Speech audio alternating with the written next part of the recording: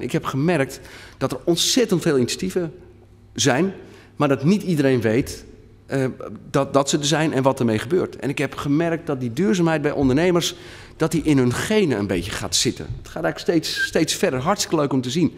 Ik merkte ook gemerkt dat ik duurzame ondernemers, willen graag zaken doen met andere duurzame ondernemers.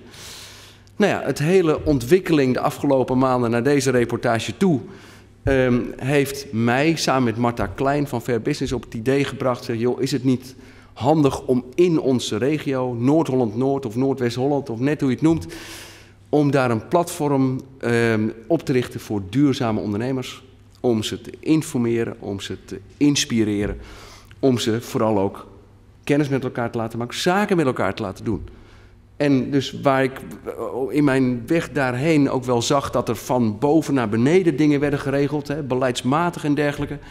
Allemaal goed, moet allemaal gebeuren, maar ik, wil het, ik had zoiets, joh, het moet eigenlijk van onderaf komen. Op het moment dat je geen geld kunt verdienen met duurzaamheid of je kunt geen kosten besparen, dan houdt in mijn beleving, ik zeg maar misschien een beetje simpel met, als MKB-ondernemer, houdt dat een beetje op. En ik denk dat je er geweldig mee kunt onderscheiden met duurzaamheid. En dat, en dan trek ik de parallel door naar de regio. Ik denk ook dat Noord-Holland, Noord-Holland-Noord zich er geweldig mee kan onderscheiden.